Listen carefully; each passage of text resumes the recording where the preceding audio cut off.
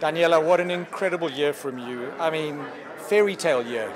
Yeah, that's true. I, um, I'm just still, you know, so um, happy to look back and when I, I still have to pinch myself sometimes actually. I, I have been training hard again after Kona and uh, got really excited for this race and then um, I kind of had to, yeah, kind of pinch myself as well, like to to look back and say how I already had such a great season. So this race for me is, is really just um, another bonus on, on top of uh, you know Kona and Frankfurt and Sea. So um, yeah, I'm happy to be here and still be in, in good shape and race.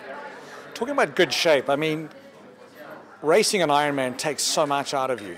Becoming the Ironman world champion, I mean that that is massive. Just the road to get there. How's the body feeling? Yeah, it's surprisingly good. I, um, for, for us, uh, for Brett, my coach, and me, um, the, the, main focus was Kona. We, we wanted to really perform well there. And, um, and then after the race, I, to be honest, I was surprised how quickly my body uh, recovered, but definitely it took a while for my head. You know, it's, um, it's a lot to take in, a lot, um, lot of attention, which you have to get used to. And um, so that's why also we decided to go to Thailand. I was putting my head down for another four and a half weeks, and that's why I'm here here now and ready to race again because uh, of course I would also would have liked to go home and see my friends and family at home after the race in Kona. But um, I decided to really give it a try for this race and I um, I know now I did everything I can to prepare the best I can be. And so now yeah I'm, I'm excited to uh, get out there and see what happened the last five weeks because I yeah I feel I feel fitter than in Kona, to be honest, and uh, I, I, think there's there happened a bit something on the bike and on the run, and so I hope I can show it on uh, Saturday.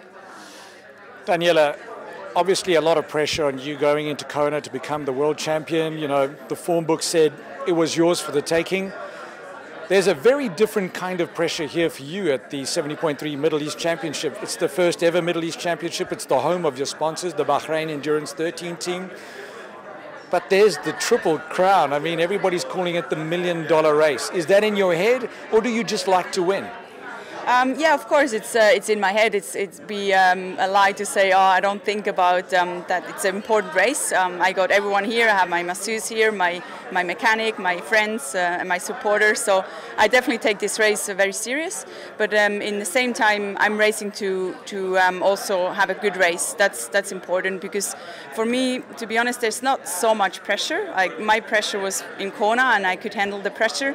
And now here is yeah, is to one show a good race race. Of course, I want to be fast, like always, and and then if I'm fast, um, yeah, I think the chances are good I can uh, win the prize. And um, I did, definitely did everything to to uh, you know to make it happen. And now it's um, yeah, I can I I uh, yeah, I would say it's showtime on Saturday. yeah.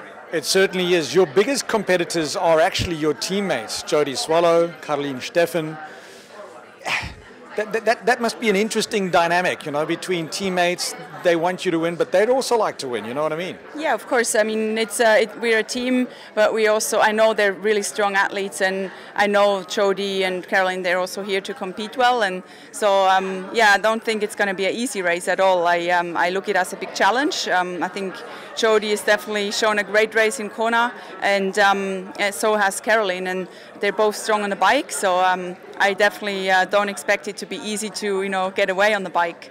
Um, but um, yeah, I, I, prepared well, and um, we'll see um, who's gonna you know who's gonna have the legs. but definitely, it's uh, it's also uh, positive you know to have these two around me, and because yeah, I wanna I wanna deserve the prize. I don't just wanna win it. You know, it's so then when I win if I would win, then I know it's um, it's been not easy to, to get there.